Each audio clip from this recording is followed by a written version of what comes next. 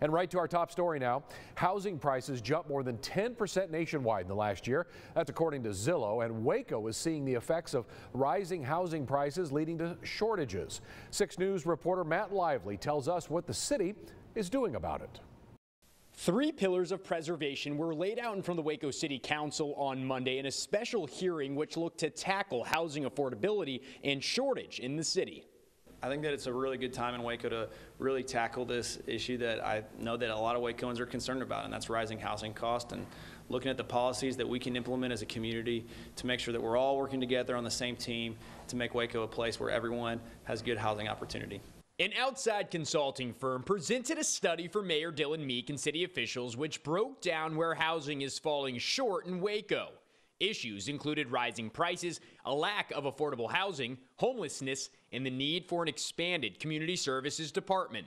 Yeah, I think in Waco right now we know that um, we have two issues that kind of rise to the top when we're talking about concerns that citizens are facing. One is workforce challenges, and the second is uh, housing. The three pillars presented were financial stability, housing affordability, and housing stock. Sean Lee, who works at the Heart of Texas region in housing programs, wants to make sure everyone is looked after. A lot of times, these low income units that are in these new developments uh, aren't available to homeless individuals. Uh, the developers uh, take low income individuals through uh, separate means that don't necessarily reflect uh, the exact needs of our communities. The study said that the population of people in Waco making 30% or less of median income is nearly 8,000 households, but there are just about about 2,200 units available. Lee isn't shocked, saying the program he runs specifically helps these kinds of households. I was not at all surprised. Unfortunately, we run into that all the time. It takes two dedicated case managers, two full-time jobs just to be able to help